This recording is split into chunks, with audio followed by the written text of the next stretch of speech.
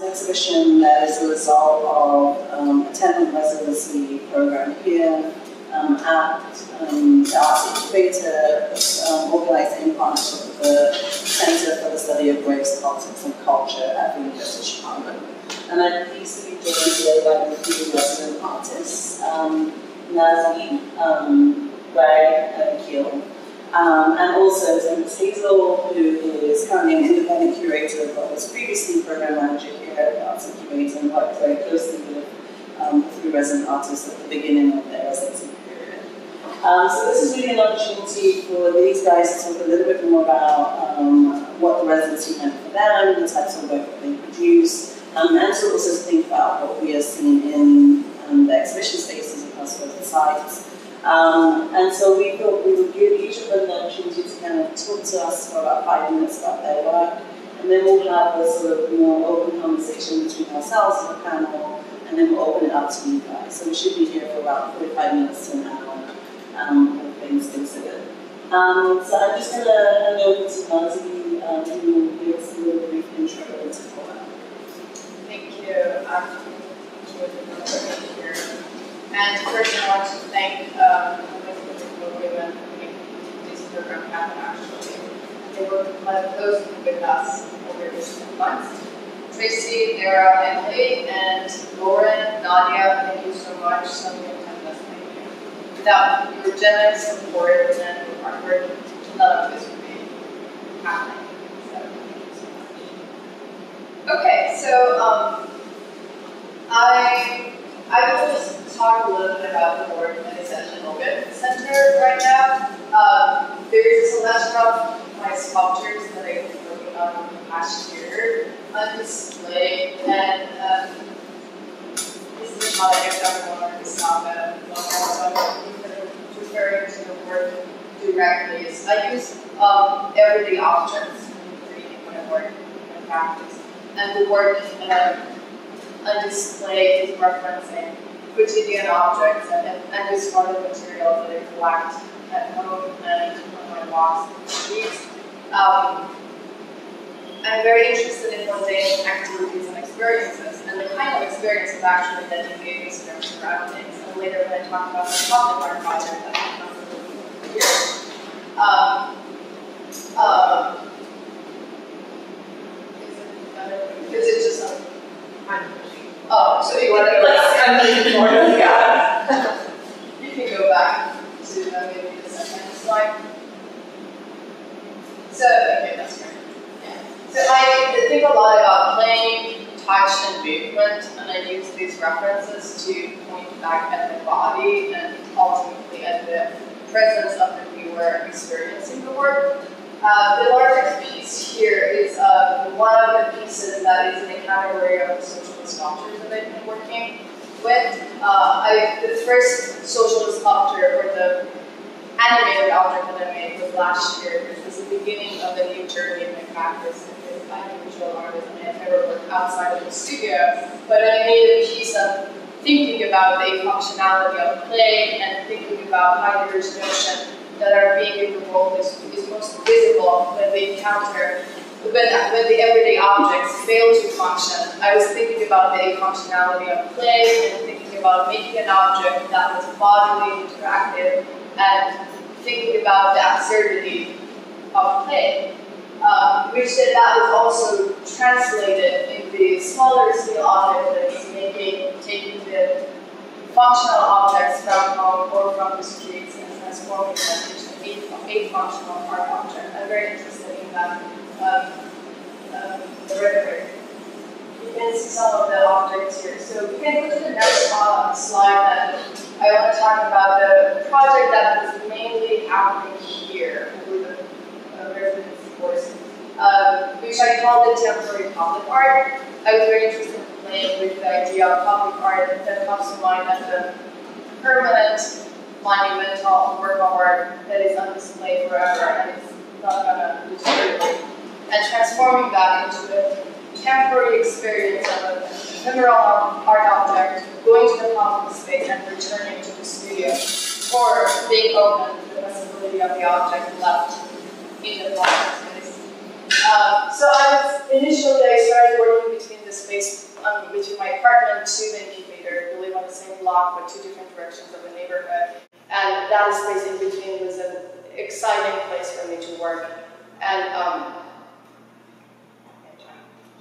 uh, so, but the, became very interested in working in the park, in Washington Park, and specifically in the south side of the park. I was very interested in the picturesque landscape of the winter, the desolate winter landscape of the park. And there were not many people hanging out. There was not much traffic in that area. And I was thinking about work, my presence and my objects, playing, spending time in that park as a way to humanize the empty urban landscape. And also um, to build a relationship with this area that I was that I was committed to work in, which that became a ritual of going out every week and spending time at the park with my partner and with my friends sometimes and playing in the park and um, meeting people and engaging in an activity which I tend to call mundane and ordinary, but not really that mundane and ordinary because I was carrying a boulder-like object and that was pretty much out of ordinary.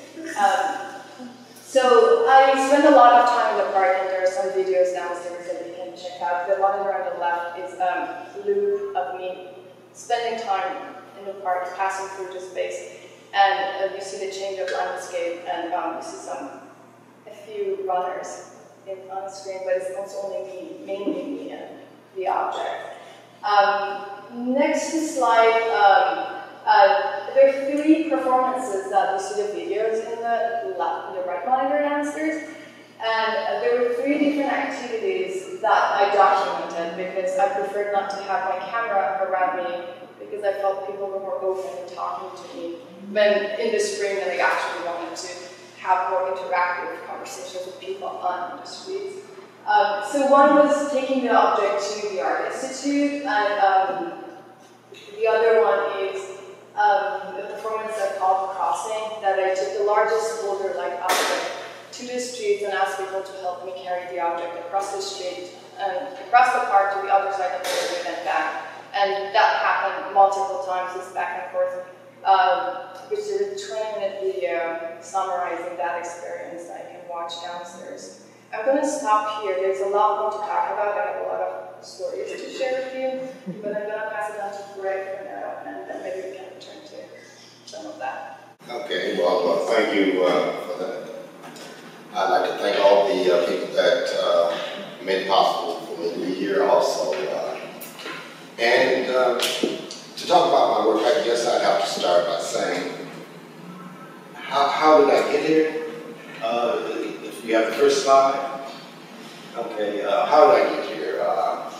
I, I saw a concept where people were using chairs and I wondered, what could I do with a chair? You know, such an everyday object. Uh, you can't do very much with it. So I, I, saw something where a guy had made a circle with 24 chairs. And I had about, hmm, what is it, six, seven, eight chairs. And I said, maybe I can make some. So I, I started creating, and I came up with a, uh, an idea that said, if you had 12 chairs, you could make a curve so I had these 12 chairs and this curve. But a friend of mine said to me, hey, why don't you push this up against a tree? His name is Paul Benjamin. Uh, he does uh, video type things. And I said, put it up against a tree. And I looked at it for a while, go to the next slide. And I was like, no, I want to do things like this with this curve. And I was adding circles and bubble wrap and all kinds of textures trying to come up with an idea. And he came on and he said, no, man, you should put it up against the tree. Let's go to the next slide. So I found some more chairs. I found about three more chairs uh, in my yard. And I was like, hmm, this is starting to be kind of interesting. What, what could this be if I did this? So I began to think about debris in a kind of a way. And I was thinking that there was this earthquake, there was this tsunami, and there was this nuclear purge that occurred in Japan in 2011. I was like, now, what if I use speculation to say that this debris would go through this kind of radioactivity and become this speculative object. So I was like, ah, that's interesting. And if we go to the next slide, this is the beginning of what I affectionately began to call the worm.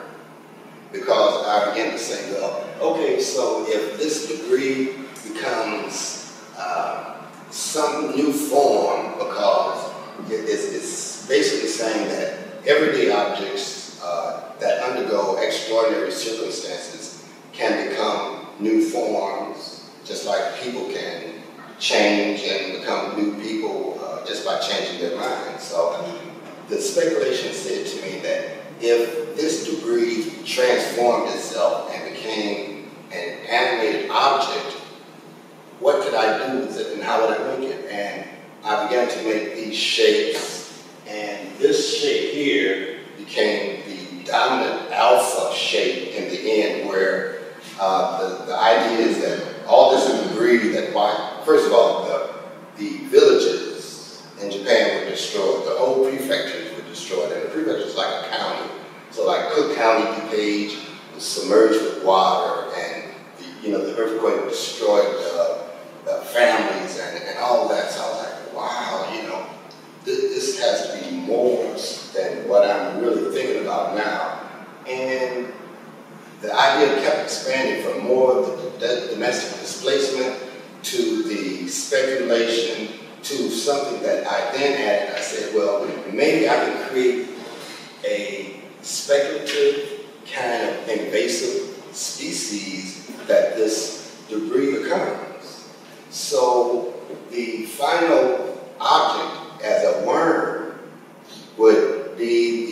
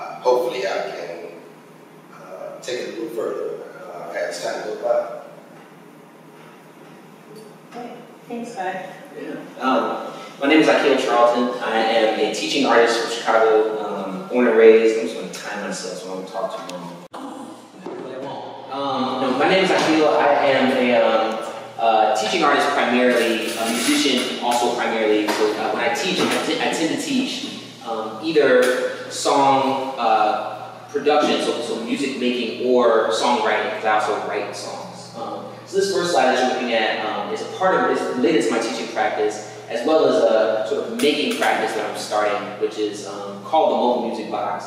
And essentially it's a cabinet that houses um, uh, music uh, equipment um, and recycled materials that I use to teach young people how to make music instruments out of. My practice is, um, and you can just leave it on this one. Um, my practice is grounded in a very strong desire to make, to create accessibility in art and, uh, and, and make the, pro- the process, the practice of making art, the world where art is made, um, to, to thin those barriers, to maybe poke some holes in those barriers. And I feel like one good hole that I can poke is to eliminate the, uh, the materials barrier. If, um, if you can go to your kitchen and get the materials and um, use a little bit of ingenuity and make your own music instrument, um, then that's one less hurdle that's, uh, that's in the way of you discovering how to use the talent that I believe that we all have. I believe we're all music, we are, we are all musical instruments. Um, our molecules are vibrating as we speak. Um, when we are around and near other people, they vibrate at different rates. Um, when we are doing different activities, like breathing or humming, we were all to just collectively take one mm together. Um, our everything that makes us up and the air around us that passes through and around us would vibrate along with it, and we could resonate each other in this entire room. And I wanted to draw on that um, capacity that we all have and to eliminate some of the barriers that uh, prevent us from really showing that in the world. Um, you can slide forward to the next slide. Um, to uh, keep going. So I'm also an electronic, you can stop there. Um, I'm also an electronic musician, and um, I'm a self-taught musician. And so the, the idea of access to me was about um, thinking about my own journey to becoming a musician. Um, I grew up uh, in, uh, in on the south side of Chicago, went to Chicago public schools, had have very um, you know, uh, active parents who were um, who really wanted us to, to express our creativity, but the reality of growing up in the 80s as a black child in the south side of Chicago was included for us um, not a lot of opportunities to really participate in music programs. The idea of buying an instrument or renting it seemed out of touch. The idea of getting transportation. My sister may or may not have been able to get me there and babysit my little sister at the same time, so it just wasn't really feasible. And um, as a result, I ended up doing a lot of teaching myself how to do things like beatbox, getting with friends who also didn't didn't know how to make music, hadn't had music classes, but, had this drive to express themselves musically. Um, and so we started beatboxing and rapping and banging on tables, and that was my entrance into music. And electronic music has given me uh, a, a, space to, to embrace all the happy accidents that come along with learning music and to tune my intuitive capacity um, into um, some skills, some music making skills, and I, and I try to teach that process when I teach other people how to make music. I try to start with the most simple things like claps and whistling and running around and moving your pants together to get the zip stop effect because um, I do believe that instruments can be a barrier. I believe that um, school can be a barrier. I believe that money can be a barrier, and I'd like for every, I'd like to, for music to be more vibrant um, in general in the world. The last thing I'll say is that um, in terms of the idea of resonant objects as a theme for our show, um, as a musician, my approach, interestingly enough, has been almost a, uh, uh, in, in a counter approach to what I'm hearing Greg describe, where an object became resonant in own ways. Um, I started with resonance first and wanted to find objects that could utilize the resonance or adjust or manipulate the resonance in the room so um, there aren't, I don't think that we have many pictures of, of the, the work that's at the Logan Center. But um, the work there, I started with a sound design piece. And um, I've been spending my entire year um, improvising um, in my studio, um, capturing those improv improvisations, trying to recreate as many of those moments as I can, try to understand how I got to the happy accident, et cetera, break down my own process. And much of that I translated through practicing, improvising, remembering what I improvised, and then translating that again into these sound pieces. Um, I brought those sound pieces to life by documenting my relationship with the other artists that I share this space with, because I know that they hear me next door, you know, sometimes. And I know that there's this like thin, you know, sort of barrier between us. Um, but I could hear them when I was improvising, and so it just when I, I was trying to recreate the sound of being in this space as a musician. Um, but the objects themselves, um, I wanted to be able to, so there are, there are sound adjusting pallets on the walls that I made from shipping pallets. Uh, I, I, deconstructed and recycled them, and old clothing I stuffed in between. Um, crates that are made from milk crates stuffed with clothing and some old shoes. Um, and then um, some panels that I built that I call my special effects panels. They use glass bottles, PVC tubes, and vacuum tubing. Um, because if you're listening to the sound in the room walking around, um, as well as ceiling panels made from old windows that reflect sound back down at you. The wall panels capture sound a little bit, but there are gaps for, for you to, so it just dampens it a little bit. Um, the corner palettes take the bass a little bit out of the room so it doesn't rumble and echo and cause muddiness. The crates at the bottom uh, take the bass that lives along the floor and directs it a little bit and dampens that a little bit so it's not so rumbly in the room. And then the special effects panel, if you walk past them at the right time and you put your ear close to one of the vacuum tubes, it changes the sound of what you hear from the speakers around the room. So I wanted to create objects that can utilize the resonance that I was working with throughout the residency. And that was probably like eight minutes. I was just about to stop. Thank you guys so much. Um, it's always really great when you hear about um, kind of an individual practice and then I think you start to see some sort of overflow and overlap between um, each other's work. And I think I want to go back to something that Nazi said about her work really involving kind of questions of play, touch, and movement.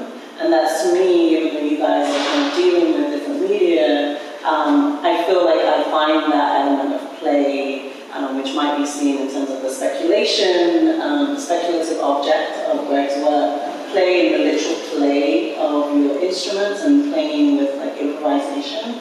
Um, but touch really important, and touch not necessarily kind of like as a tactile thing, but maybe touch as being kind of like connected to others and connected to the world, um, which I think is quite um, apparent in each of your works. There's like a sensitivity um, um, and a sensitivity to kind of like place and other people. Um, and I think movement is apparent in all your works, right? In terms of like um, sonic movement or kind of literal movement or the um, illustration of movement in Greg's worm. I wonder if you guys could just talk about those three things a little bit more. And maybe we start with play. What does play mean to you in terms of your practice and how it extends out um, into um, the gallery space? It was very. I, I, I, the first thing that comes to mind is just thinking about how, at, at first, the worm came, we had a theme for the worm that uh, came about by uh, an improvisation where I was playing in my uh, studio with uh, my buddy Nick Wilson, the space mod, who was also an improviser.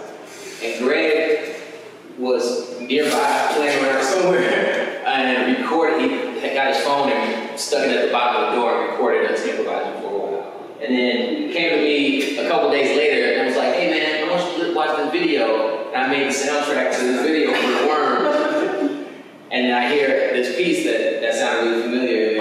Um, and I think that to me what comes to mind, yeah, this idea of play is that I was in a space of trying to just, I was playing and, and art, I, artists, it's, works. So we have, so I, I have to take seriously, but then I have to, but I want to, but you know, my buddy Nick, he's great at improvising, and I, and I, he's a friend, and so I, I enjoy playing music with my friend, with it, it's a play date.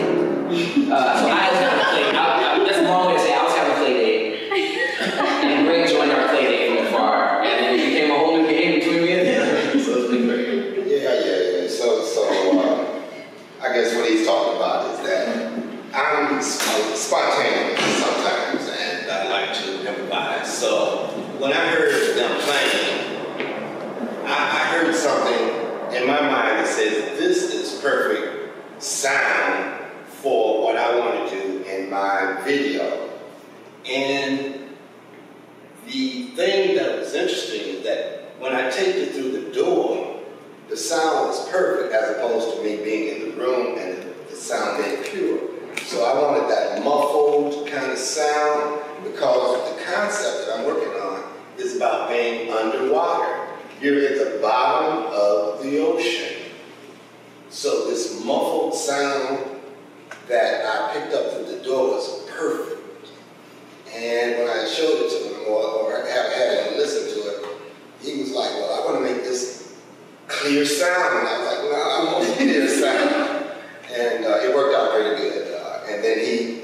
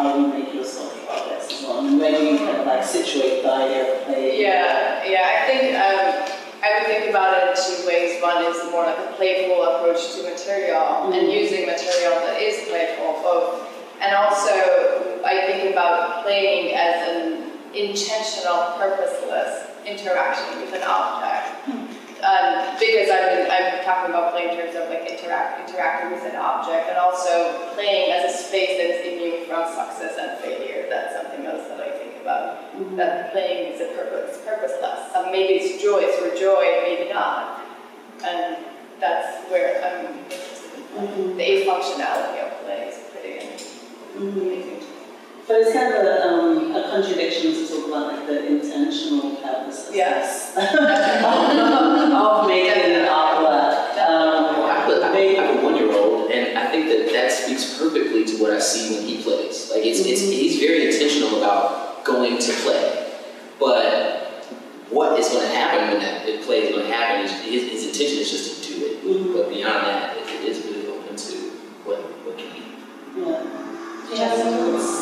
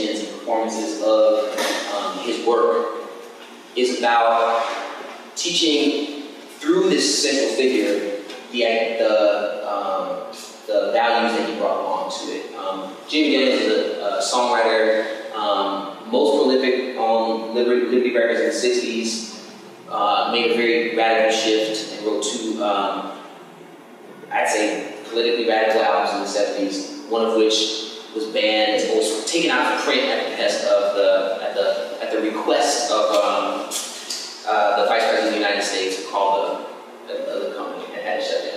I studied, I, I was really interested in his work because I believe that there's so much to teach about in um, a songwriter who was willing to risk being banned to say what he felt like was necessary and who took a really clever approach to financing it because he could, he could play around with both ends of, of it. I think that he was sensitive to the social issues that were going on and also just wanted to like write some groovy songs. And so when he wanted to write a groovy song, he wrote Feel Like Making Love for Roberta Flack. And that paid for the rest of his career. And when he wanted to write a serious protest jazz track, and he heard Les McCann in his head when he was writing this tune, Les McCann bought it, the royalties from that, and that being one of the, probably one of the most reproduced jazz songs um, in terms of I mean, contemporary protest jazz um, to this day. Um, he, I mean, he was living off royalties for that and was able to do something really radical with his work. And so I started studying his work to think about how I could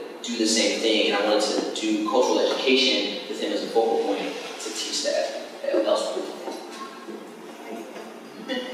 It'd be interesting to hear about um, what, within this context of the residency, um, which is very much about your individual practices, but it's also about this context. And in some ways, kind of giving back to this context, you know, through kind of like pedagogy and through exchange and interaction.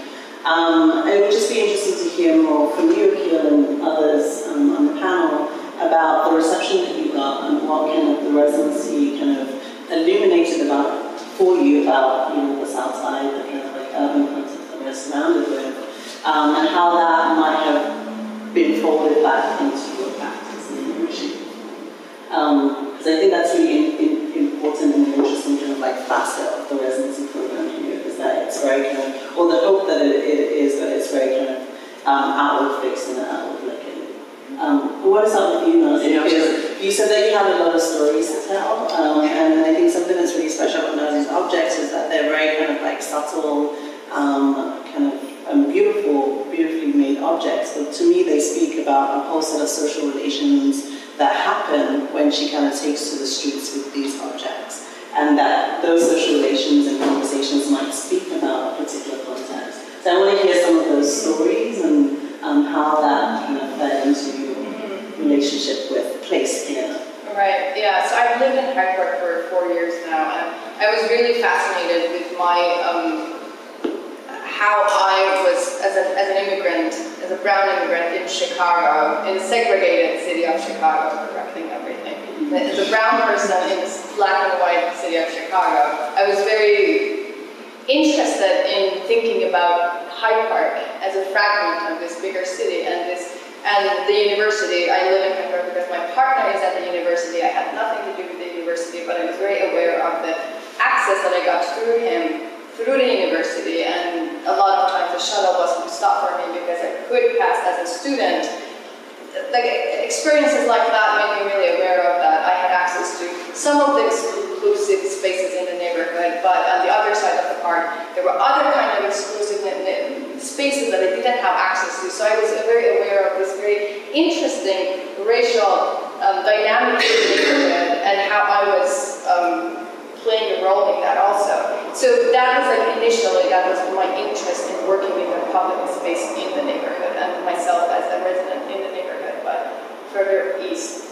And so, and I was specifically interested in an unexpected set of audience, people who I would run into in the streets, not gallery goers, not artists, not people who were aware of the incubator, and almost no one they encountered in the neighborhood over these seven months knew of the incubator, and they had no idea that, that there is a residency. Or so it was a very different kind of audience and a very new kind of audience for myself because I'm a visual artist. I show art mainly in the galleries and I mainly hang out with artists. So we were clear with a set of questions that we never asked each other. So it was a very different conversation.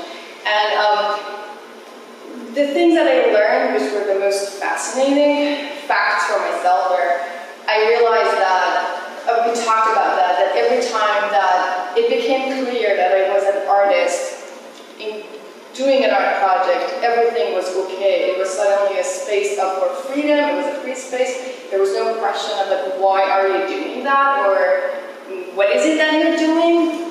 Or what kind of art project is that? There was no question of that. Every time that I talked to someone while I was carrying an object, or asking them to help me to carry an object, that was mainly where I talked to people, sometimes for a long amount of time. Um, it would be, initially it would be, oh, it's an art project, so it's okay, it's fine, whatever you're doing, it's fine. And then they would think that I'm a student, I'm an art student, and then when I would make clear how I teach art, then they would like, oh, okay, so, but it's okay, it's still art, and then we talk about the incubator, and then the conversation would become about me because I have an accent, and they would quickly realize that I'm not from here, and then they were very interested in learning about who I am. Not all of them, but that was a very common conversation, which also happens a lot at Harold Washington where I teach. Um, and then it was a projection of them, whatever they thought they knew about a Middle Eastern woman who is from there actually. And they would project that to me and they would ask me questions. And we had a lot of back and forth conversations about like, what, what does that even mean being a, a woman from the Middle East living in Chicago and talking to, for example, mainly I talked to a lot of young men, talking to young black men in the South Side, from the South Side, what did we have in common or what were our similarities or differences? We would talk about that a lot, which was pretty interesting. Do you guys have any other stories about your interactions or how your kind of, um, So like outward facing, right? yeah, how, how your work kind of facilitated particular social exchanges within this context? I mean, it's funny you asked about like my reception, um, and I think that the challenge for me has been to, to is, is to shift the focus inward enough to continue to grow my practice. And I, I, I, I'm often challenged to do that. I don't, I, I, I won't try to like explain it. I don't know what it is. It's just like my heart says that ultimately, like the art, I will continue to be able to make art, but I, and there's a deep fear that I have about the slipping of culture from our world, and um, in terms of like it, it, into this monolith sort of vacuum, and um, that scares it really scares the hell out of me. Like I, I, I, when I make music with uh, the, there's a group of young people that came up here for the DAP, uh, the Design Apprenticeship Program's uh, sort of like final show for the year. In the Design Apprenticeship Program, uh, students made wood top for my mobile music box. So I was here with my mobile music box, and I brought some stuff to make some recycled instruments. There were like three or four young men. But not, I don't even them, they were three or four boys, little black boys who were, who were uh, siblings of some of the students in the DAP program who were here. And they kind of walk, walked up, and I had one of these little tubes with a balloon on the end. It was making this little funny noise. And they just walked up real slow, and they were like, "How did you do that?" And I was like, "Here, this is what I'm here." You know, we started handing materials. They made little saxophones, and it was just like a transformative experience in that moment. Um, and for, of, of, of this dude from the neighborhood in this strange space where their siblings are doing art as well, which um, I mean, and maybe through their siblings they're being exposed to it, um, but they have their own little piece too. And whatever hardness I think that I'm, I, there might be between two black males um, just evaporates, and like whatever hardness that sort of gets shined on, on our children in this monolith world um, starts to melt away because their faces were just like so excited about this little balloon tube back. They were like walking, I, when we closed up, they were like walking down the street playing these things. And I hear, I, two days later, I saw some little girl walking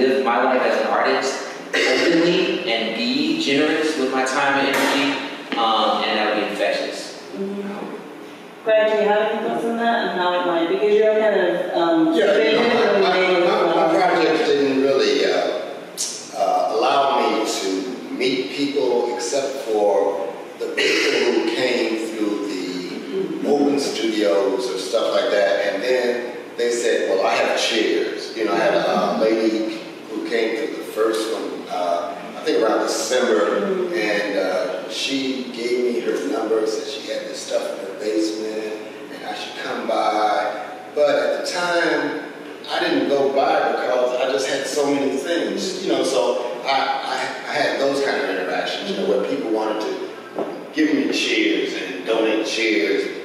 Can And I, can I ask you something? Because you, because your practice, you run a gallery that's been in my, my mom's neighborhood for 30 years, you just told me. yeah, And I, I, and you're saying that your sculpture, this giant sculpture that sits outside, only just recently got messed with. But prior to that, hadn't nobody even touched it in 30 years. And I think that sometimes that stuff is like form of vandalization or something. You know, some. I mean, I when I was a teenager, I like to go back and okay. Mm-hmm. So I'm just wondering how how does that? You've been doing that sort of like community facing sort of practice. How, were you bringing any of that to? Uh, let's see. Hmm, What did I say about that? Uh, I think sometimes uh, communities respect art. And the artwork that I put out from my place was something different uh, for the area at the time because uh, the area changed over the time that I was there from being just a, uh, uh, a building sitting uh, around junkyards and things like that, uh, because over the years, the junkyards were uh, torn down and became green space, uh, because ComEd uh, owns the property. So they didn't build anything, it's just green space. It used to be just junkyards. So it went from abandoned cars and stuff behind a big metal fence to just open green space. It's almost like uh, it went from one form to another, just like the objects that I'm working with. Uh, and the art that I put out there kind of said to the neighborhood that, hey, this is a different kind of place, a different guy, because he's got art outside his fence. It's, it wasn't fenced in, it was just sitting out in the open, and each, I'll, I'll say generation, who came by and saw the work would say to their kids, oh, no, don't bother that. But over time, you know, you get, you get kids who grow up and they're uh, precocious. They want to see what something is. And uh, every now and then, people want to shake it and see what it is because they think it's metal. Because the sculpture itself was wood and it was coated with bottle caps that over the years went from clean bottle caps to rusted metal looking pieces that looked like the whole thing was metal. So they wanted to swing on it, hang on it, push it, punch it. You know, I, over the years I've chased people away from, you know, little little kids who, you know, I come out there, they're hanging on this piece of wood. Yeah. You know, then their mom would say, you know, and then they, they would pass that along so that young kids that I saw in the neighborhood, later on I came saw come by with their kids, would say, oh, no, don't bother that. So I think that is uh, part of that, what you call it, out, outward facing uh, that I experienced uh, with that kind of sculpture in the public. Uh, what, going back to the thing about uh, interaction here is that uh, it was more with adults who had things that they wanted me to say, hey, well, I see what you're doing. Uh, I've got this stuff that I don't need anymore taking up space in my basement. Do you want it? And that, that's more uh, what I experienced. Uh, you know, young, young people didn't get a chance to see my work because it was always inside the studio. It was just people who came through the building and happened to come across me. Do you have plans to, because is that your backyard there? Is that where the piece was? Because you, you said that Yeah. the piece originally kind of started out in your backyard. Yeah. Um, which is a sort of semi-public, semi-private space, I don't know how big your backyard is. But do you have an intention to kind of like locate them back into public space, given that you've taken them from Well, well, the, the, the space has had four or five incarnations of objects out there. Uh, uh, let's see. So if you look right here, my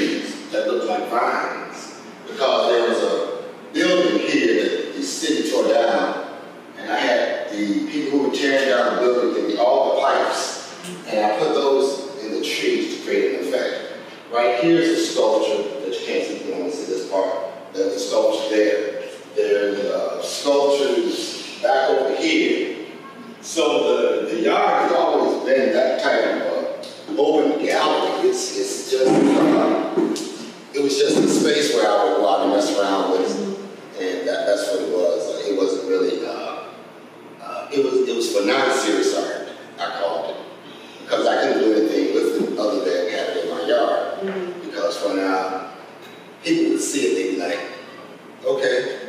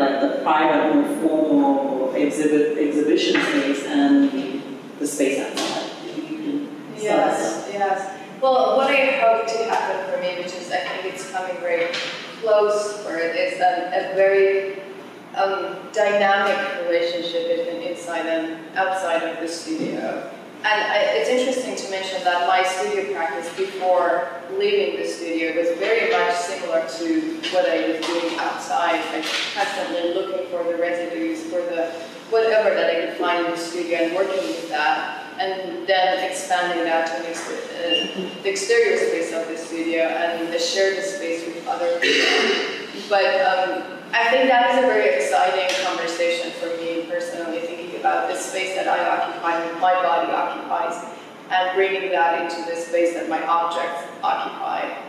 I would like that to be a very dynamic conversation, mm -hmm. definitely. let's speak to you? Uh, I don't know. I think uh, what I do is more. Uh, I, I move. I move from 2D to 3D type collage works. So the outside experience inside because it was different than my previous work. Mm-hmm. So the, um, I, I guess it's more bringing bringing the outside inside to bring it back outside because if I can, I would like to have some of the works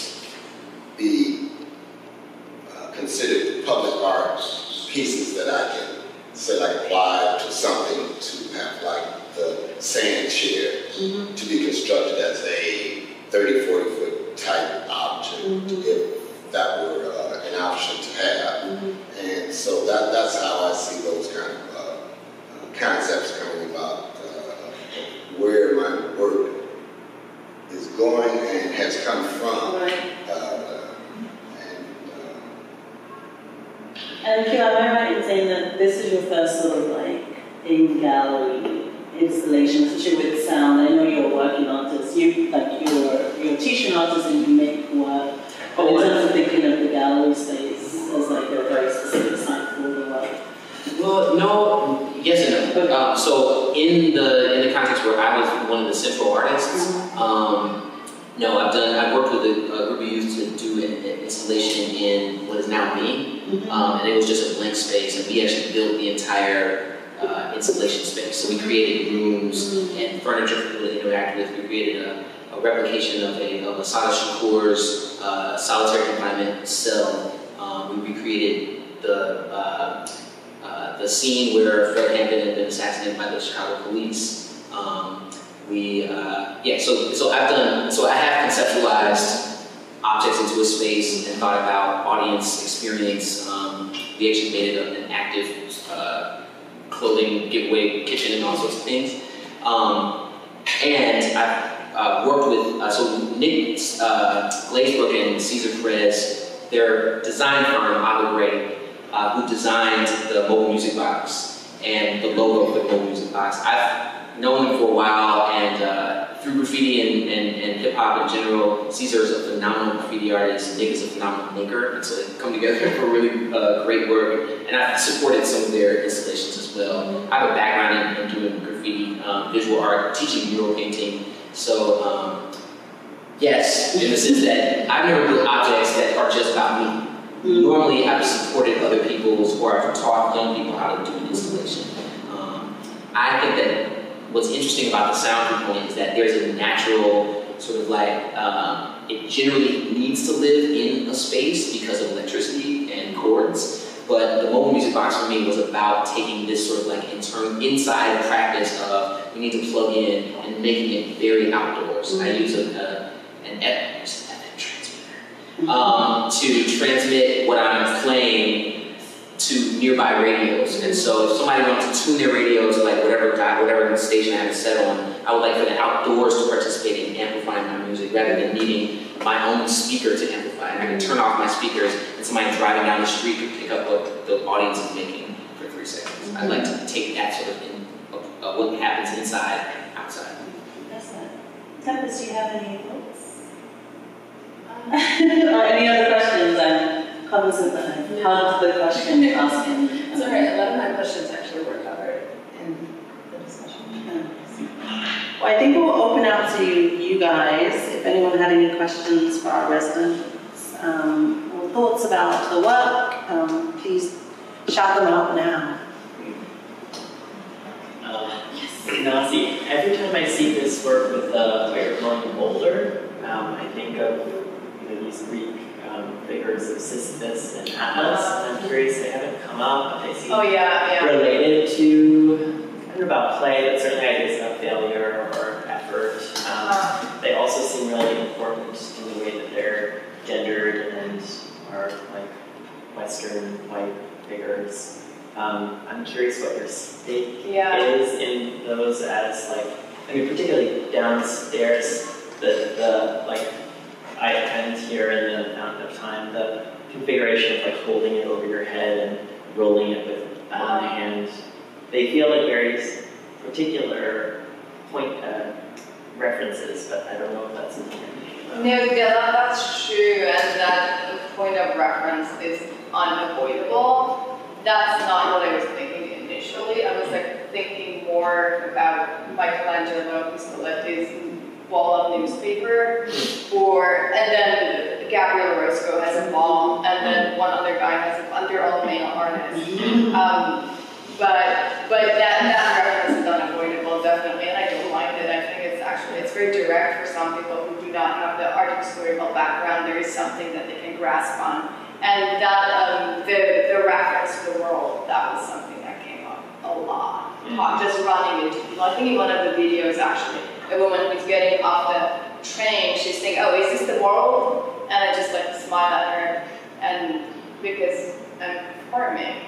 Um, weird. But that reference comes came up a lot. Like that was something that people understood. That was the world.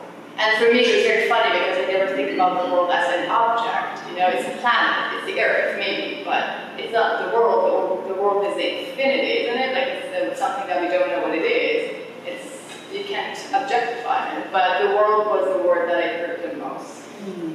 uh, we carried the world, so that, but well, it's not very heavy though, right? Mm-hmm. And they're talking about the but it's paper mache, it's not marble, you know, it's, it's not heavy. It looks heavy, but it's not heavy.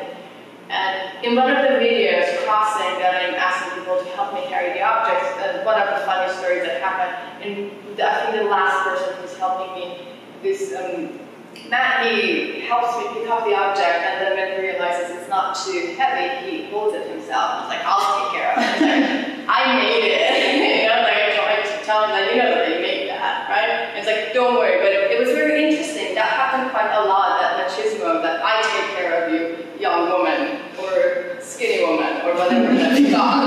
that they just took the object from me. But then they're telling them this is about us crossing the street together engaging in collective, collective activity.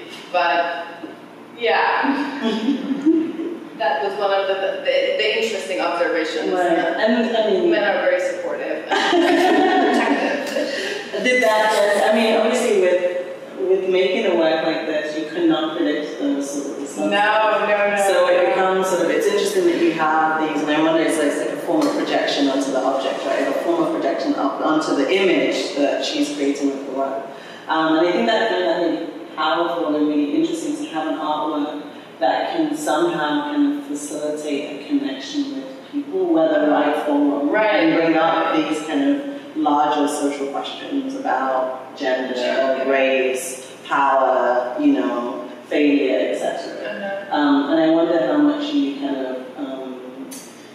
towards that end, or you were just looking for an object that would facilitate those questions. I think the whole like we started the play, and I think that's where the play comes in Mhm. because that's something inclusive and accessible. Understanding of play and joy is something that we all relate to. You don't need to know about art history to to understand. I mean, we, with, with those Boulder objects, there's so many other spiritual references. I mean, you brought up one. We talked about Richard Serra's relationship to one of the objects at the Logan Center, which I did not think about there at all, but of course, the balanced object on the wall. There are, there are references, but I think creating a playful environment, oh, the, the way I was thinking about it, that it's like you don't need to have that baggage. You can approach the object with whatever personal background you have or social background that we all have. Yeah. Any other questions? Um, I'm personally really enjoying thinking about the title object residence, resident objects, and thinking about like the multiple definitions of the word resonance and resonance. So I just pulled up, like in physics, resonance describes when a vibrating system or external force drives another system to oscillate with greater amplitude at a specific preferential frequency. So I'm just thinking of, um, you know, the types of external forces that motivate your work or influence your work, like the body on an object or on an instrument or like existing in space, an object existing in space. And then the definition of resonate, to have particular meaning or importance for someone, to affect or to appeal to someone in a personal or emotional way. So I'm also thinking about, you know, the emotional qualities of your work, which I think are all very apparent, um, like a heavy-looking object or like someone feeling the need to like help you because they think maybe it's too heavy. Um, uh, nuclear purge and um, moments of rupture and um, kind of rebuilding life and um, recycling chairs or, or structures.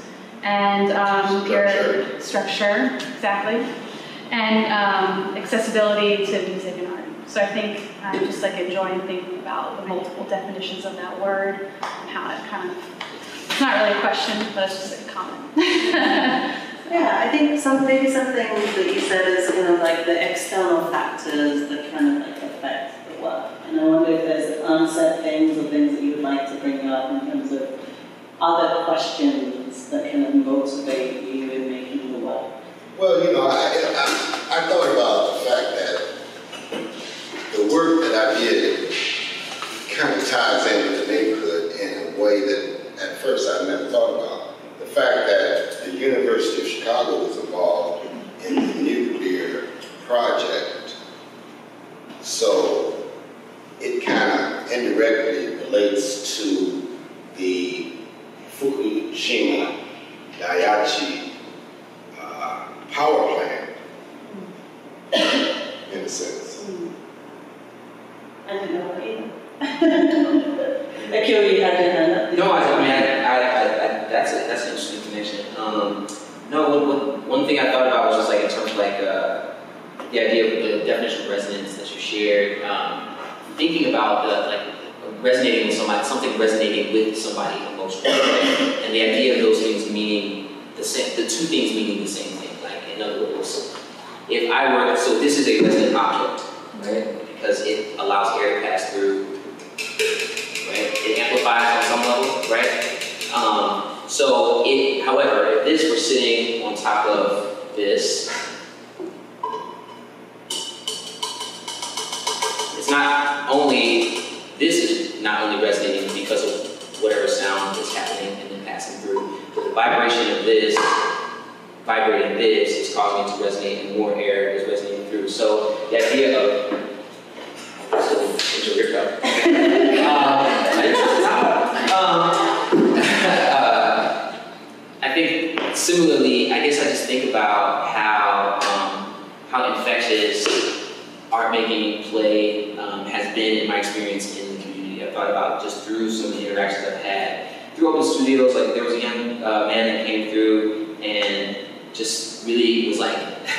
He, he, he was just commenting on everything I was doing when I was making the music. And so I was like, eventually like, well, do you want to try, give it a shot? And he's, he's just really, he's really talented, and I think he was just commenting so I would know that he was talented. But then his sort of like uh, willingness to like ask the, ask the questions, there were like three, two or three other young people in the room who just didn't want to ask, but then they started asking questions and thinking about the, like those moments where um, just like hit like the idea that it's okay to ask a question um, or to even point out that I'm not doing it right or whatever, that I may not have the answer, um, resonated with these other young people. And I really hope that like our process of um, doing what we do publicly in this community particularly um, resonates um, because not just with the community, and I don't think this needs to be a direct, like, the University of Chicago is a part of the community. We, we can't separate institutions from the community because we have to park around them and because it provides my paycheck sometimes and because of these various things. So it's more about how do we work with the community as, as, as you know, in, in, a, in a very full way. How does the university really become part of this resonance that happens in the community? And if there's like a, there's an object that's muffling, it's just going to mess up the whole resonance chain. And so I think that it's just, for me, I think about being here and trying to create some resonance in this institution that resonates with the community because otherwise the, institution can be a muffling force. It can, it can stop the resonance of the artists around it because it says, oh, you can't get in, or do you have enough money to be here, or how much training have you had? Have you talked to one of our professors yet? Have they told you something? Do you have a degree saying that you, do you have a visiting artist uh, history that you've done other works at? Well, why should we let you in this building? But you never know when that young person that comes in decides that they're going to start jamming can really transform this space. And I think about my space as a space to like, you all, I don't think that the university knows that young man on the street, but I do. I mean, I really do. And I really make it a point to be a part of my neighborhood and, and deal with the university as a neighbor. Yeah. Um, and so I, that's just Very beautiful summary. Thank you so much. Um, if anyone doesn't have any last questions, I would love to leave it, leave it there actually, to think of, to have everyone think of themselves as a sort of instigator, as a sort of hub that sort of resonates and connects to other people. And I think that's been the kind of like strength of working with you guys and kind of figuring that out in your practice. Um, and um, I just want to thank you guys for joining us today and for your contributions. And thank you guys also for